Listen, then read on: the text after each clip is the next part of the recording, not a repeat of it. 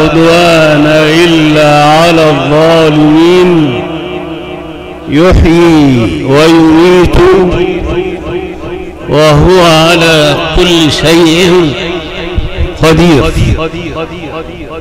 وأشهد أن لا إله إلا الله وحده لا شريك له.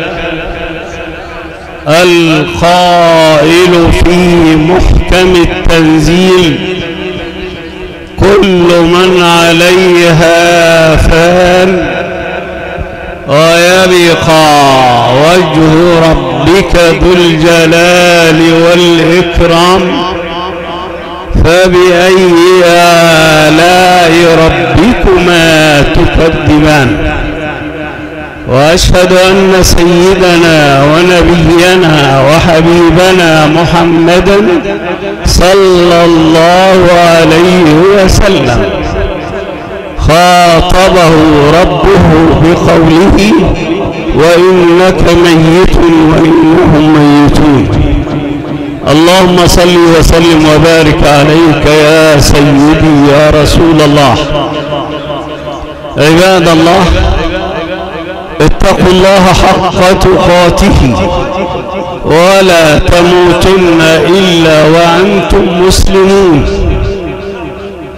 يا أيها الذين آمنوا اتقوا الله ولتنظر نفس ما قدمت لغد واتقوا الله إن الله خبير بما تعملون.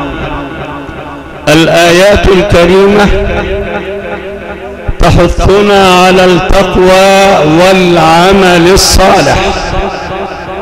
يفسرها لنا الإمام علي كرم الله وجهه بأنها الخوف من الجليل والعمل بالتنزيل والرضا بالقليل. والاستعداد ليوم الرحيل.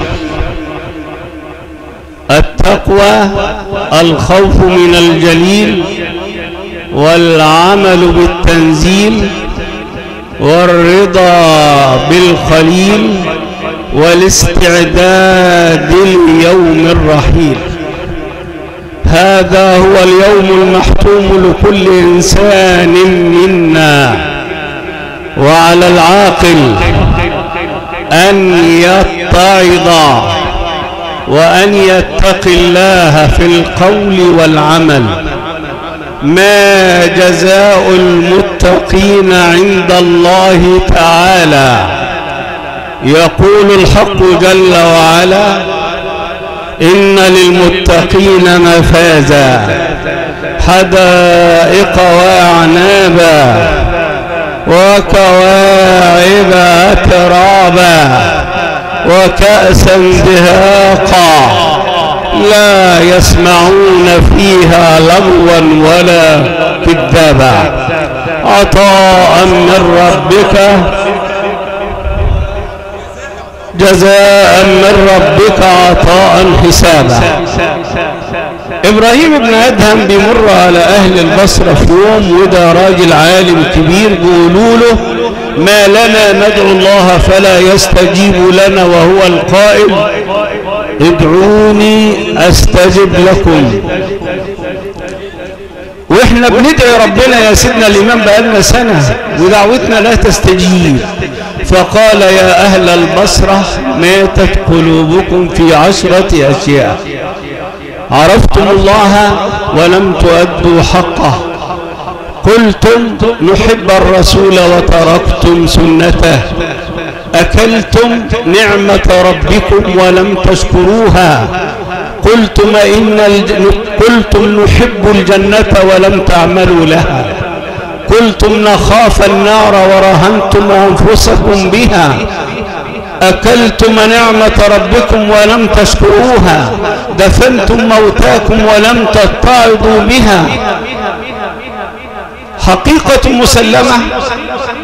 قال لهم إزاي؟ ربنا هيستجيب لكم دعاءكم وقد ماتت في قلوبكم هذه العشرة أشياء.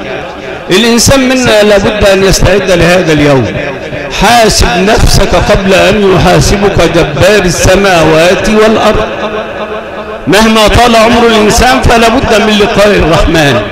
كل يوم بنشيع أصدقاء وحبايب وقرايب وجيران. هل اتعظنا؟ إبراهيم بن أدهم بيقول لهم إيه في سبب عدم إجابة الدعاء؟ دفنتم موتاكم ولم تتعظوا بها. العاقل منا يستشهد على نفسه كل يوم. اللهم أسلمت نفسي إليك ولا ملجأ إلا إليك. نستعد لهذه اللحظة.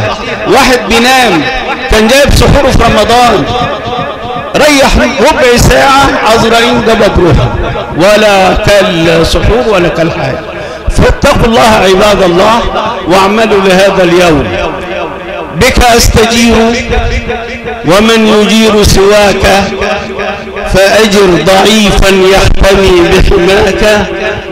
دنياي غرتني وعفوك غرني ما حيلتي في هذه أو ذاك يا مدرك الأبصار والأبصار لا تدري له ولكنه إدراكا إن لم تكن عيني تراك.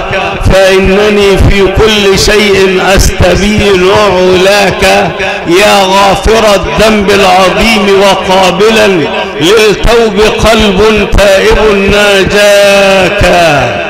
لله في الآفاق آيات لعل أقلها هو ما إليه هداك. والكون مشحون بأسرار إذا حاولت تفسيرا لها أعياك. كل الطبيب تخطفته يد الردى يا شافي الأمراض من أرداك؟ كل المريض نجا وعوفي بعدما عجزت فنون الطب من عافاك. كل صحيح يموت لا. علة من بالمنايا يا صحيح دهاك واسأل بطون النحل كيف تقاطرت شهدا وكل الشهد من حلاك. يا أيها الإنسان مهلا ما الذي بالله جل جلاله أغراك؟ سيدنا النبي صلى الله عليه وسلم يقول إيه؟ إذا مات ابن آدم انقطع عمله إلا من ثلاث. ولد صالح يدعو له علم ينتفع به أو صدقة جارية. ما قالش ولد يروح يعمل عنه عمرة ولا يحج. قال ولد صالح يدعو له أي أن دعاء الابن لأبيه مستجاب عند الله. نرجع للقرآن الكريم بقى يقول لنا إيه الحق؟ وأن ليس للإنسان إلا ما سعى وأن سعيه سوف يرى ثم يجزاه الجزاء الأوفى وأن إلى ربك المنتهى. باسم وباسم السادة أعضاء هيئة التدريس بجامعة الزقازيق والدكتور ممدوح الحاضر معنا عميد كلية التربية الرياضية. نقدم خالص العزاء للحج محمود الهواري عميد عائلة قصبر وندعو الله أن يسكن الفقيدة فسيح الجنان وأن يلهم أهلها وذويها الصبر والسلوان. وشكر الله سعيكم جميعا. والسلام عليكم ورحمة الله وبركاته.